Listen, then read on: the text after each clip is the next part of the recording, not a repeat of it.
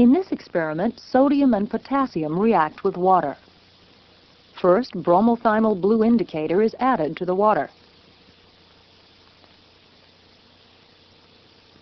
Now sodium is dropped onto the water. It begins to react.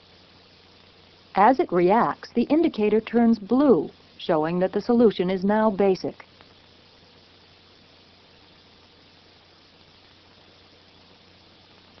The sodium melts to form a ball because the reaction is very exothermic. The ball is propelled across the surface by the hydrogen gas evolved. Note the steam which is also produced because of the heat of the reaction.